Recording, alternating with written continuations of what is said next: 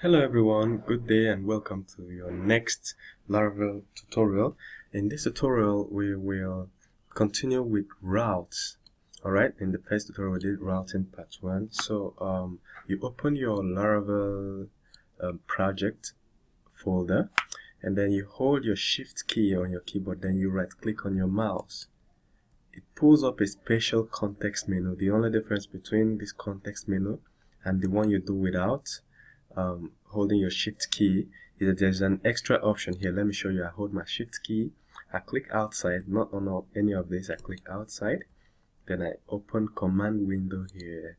So it's a shortcut for navigating to this folder. Alright, so now we are in this folder. We run php artisan serve. This is how to start a server that will eventually open your web page. So I'll copy this. You you highlight it this way then you hold control C on your keyboard and you it's copied. So you open a browser. I've opened it before that's why you're seeing it. Otherwise you open a browser and control V to paste. And uh, now that it's pasted you can now hit enter and your Laravel web page will open Alright, as is already open before I started this tutorial. Remember the last tutorial we linked all these guys, but then we've not created all the pages, so we will um, create the pages. Good, so let's go. Um, get back to our code and um, open our Sublime Text. And uh, remember, you can use any text editor. It's okay, it's perfectly okay. So when we open our Sublime Text, and we open um, welcome.blade.php. Remember when we created this? This is a Laravel folder, this app, and then we opened resources folder. Then we opened views inside resources folder. Then we opened the file called welcome.blade.php. Now, uh, it was in this file. This is the default home page for our project because remember that in web.php, when we go to routes, we go to routes in web.php, it was defined that if somebody visited our, our home page, a view called welcome.blade.php should open. So that was what we did in the last tutorial. And that view, we had a complete HTML and uh, we had the CSS inside it. And then uh, we were able to put this Laravel, then we linked these pages. So our next um, assignment or task is to actually create these pages. Um, do we need a news page? Okay, we'll continue. We'll create this, we'll create about, we'll create contact, we'll create account, and then we'll link them from, uh, we'll route to them from here, all right? And uh, our greatest challenge here is that the routing topic is actually quite vast in Laravel so we'll try and cover the main things and the main ways to do that. So what we have here is um, we'll get back to our views folder. Remember in resources views and uh, we create we already have an about page. Uh, we could create more pages. We could create the one called contact page. So what happens is uh, in views you right click and say new file. It creates a new file then you you save which is control s or command s so control s. And uh, there will be a pop-up that will show up and uh, for us to save. So it shows up in the views folder and asks us to save. So what we have is um, I'll type I want to save con contact.blade.php so we say save. That's for our contact page. So we'll get back to our welcome page. As you can see in the views folder we now have a file called welcome.blade.php contact.blade.php so we'll get back to welcome.blade we still need to create two okay let's say one more. I'll work on this later. We need to create one more called news uh, posts. Let's just say posts. All right let's call it um, posts. Well this is not really important at this moment so let's just um, let, let it be news. So but this is enough to show you what i wanted to show you. We have our about and contact page we created about in the last video tutorial now the whole concept of mvc is that uh, things should be really organized. For instance this is what i mean. You have your models in one folder you have your views in your in one folder and you have your controller controllers in one folder. So so far we had our models uh, in the app folder. Our models dump here in the app folder. Then we have our controllers inside the http here here is our controllers and remember in the last tutorial we created pages controller. Then we have our views inside the resources views folder. So um, the idea is that for every controller you have the controller has many functions and methods inside. Let me open this. As you can see the controller has many methods. Each of these is a view. Uh, each of these is a view. Each of these is a view. Or mm, most likely a view but not all the time so when someone visits get about it should pull up an about page. When someone visits um, get contact it should pull up a contact page. Let me just arrange this so that all the gets will be in the same place. So each of these is most likely a view which means um, we have a pages controller and we have like let's say two or three views. Um, this post is probably not a view. So what then can we get from this? It means that somehow we need to put all these views in a folder. Of course, the post contact is not a view because um, what it does is basically receive form post request from a form and process it. So it's not a view. So basically, we, we need two views here for the get about and get contact. So the problem is that um, we need to organize, put these two views inside a folder that we can call maybe pages view so that when we have another controller, which means we will have to go to our views folder inside our resources folder and of course create um, a new folder we can call pages.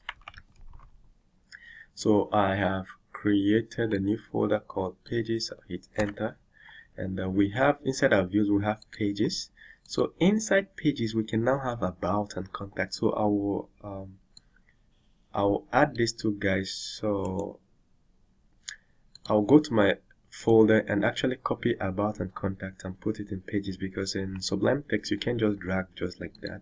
So we open right click and open containing folder. Then we move about and contact into the pages folder.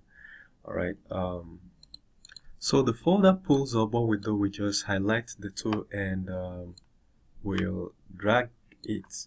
I'll highlight this two, then I'll drag it into pages folder. Alright, now it has moved into pages folder. I'll open it just to confirm and um, we'll get back to our Sublime text and uh, my system is kind of hanging. I'll find out what's wrong so, but um, this is it, and then we'll get back to our Sublime text. And um, what we immediately find out is, first of all, we need to save this. This um, tiny little dot here shows you that you've not saved this particular file. As you can see, normally it should be an X sign, but when it's a round dot, it means you still need to save. So I will delete this guy. I use as an example.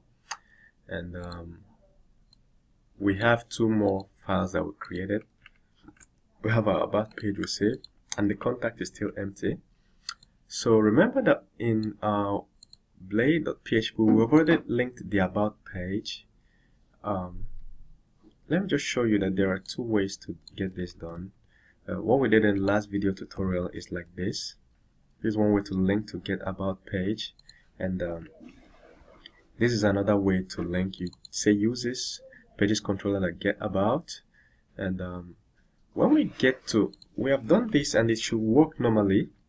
But when we get to the the browser and we visit slash about this slash about and hit enter. Um, um well it, this shouldn't work because um, let's we made a mistake somewhere. Let's quickly check the folder. Okay inside our pages we have our two files here. But on the views it did it just copied that is duplicated instead of uh, move. So we have to delete these guys here so you have to cross-check yours to know whether it happened that way too. We just wanted to have these two files here. Alright so which means when we get back to our browser and uh, this is our browser and if we refresh reload what we have is a uh, this error means that um, it can't find the file to display the view file to display. As you can see view about not found which means right here in the it's supposed to, it's looking for this view but it can't find it because by default Laravel is configured to go to our resources folder instead of view folder and look for a file named what we're looking for. So it has looked here and it can't find about page. So somehow we have to tell it that hey we moved it to a folder called pages. So inside that folder, that's where you find the about page. So we'll have to do page dot about. So this is how to tell Laravel that hey, you have to go to a folder called page, then you move to about. Another way to do that, let's just first of all verify that this works. We'll refresh, and then we wait boringly, and um,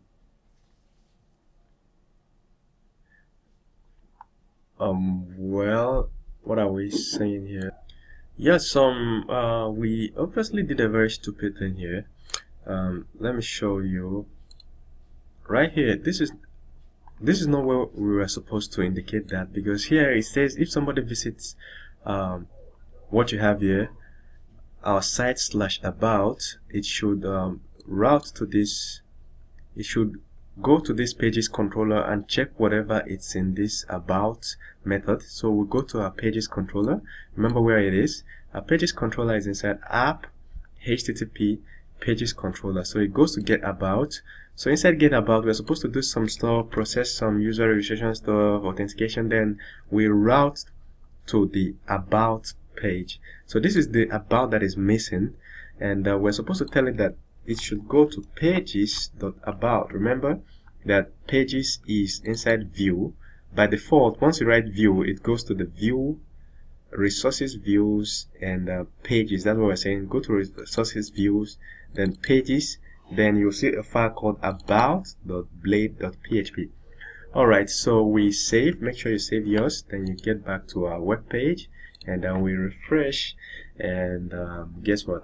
we're there our about page is now displaying. This is one way to do it in Laravel.